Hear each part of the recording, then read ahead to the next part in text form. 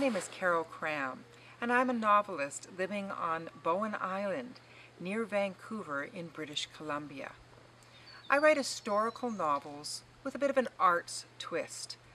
My debut novel, The Towers of Tuscany, tells the story of a female painter in 14th century Italy.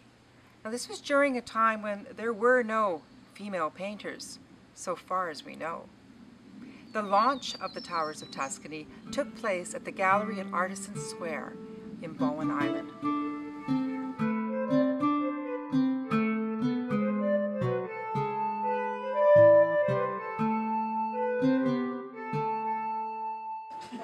A shaft of sunlight fell across the small panel of the Nativity she was painting. Sophia snuffed out the candle and paused a moment to watch a curl of smoke spiral to the wooden rafters. She wanted to be the smoke, light enough to escape through the tower window and out into the fields, away from her husband, away from San Gimignano, away from her household with its incessant demands, away to paint every day in peace.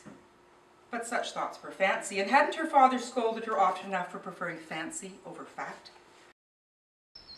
Readers are really enjoying The Towers of Tuscany, not only because it's a real page-turning novel, but also because of the art and the history. People are interested in all of the amazing skills that went into creating the art of the 14th century. This is actually a secular fresco that to this day is in San Gimignano. Has anybody ever seen it? It's in the uh, Municipal Hall in San Gimignano. It's a little racy. it was done about 1320. Actually, it's quite plausible that Sophia would have seen this, if indeed Sophia had existed. Here's another one. This, these are frescoes, secular frescoes, and I kind of like to think that person down there might well be Sophia, waiting for Giorgio to come to bed. I really wanted to share a lot of what I'd learned while researching the novel with people who came to the launch.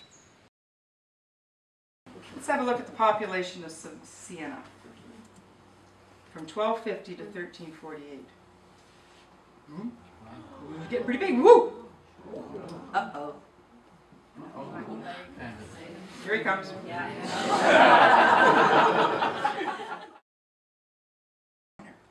Messer Del Pino opened his mouth to reply, but no sound came out. His eyes stared into Sophia's. They looked startled and seemed to search her face for an answer she could not supply. The ruddiness that had suffused his face with wine and good humor drained to a sickly white as a single strand of bright red trickled from his mouth. Sophia heard a soft grunt. And then the face of the great Messer del Pino, kinsman to one of the two most powerful families in all of San Gimignano, slipped from her view. Close to her right ear, an arrow thunked into the wall. When she raised her head, she already knew what she would see and was surprised that her only emotion was curiosity. Her strong father, with his heavy demands and relentless striving, was bleeding just like any man. His eyes looked straight into her own. His mouth moved as he tried to form words, but she heard nothing above the wailing and screaming that filled the hall.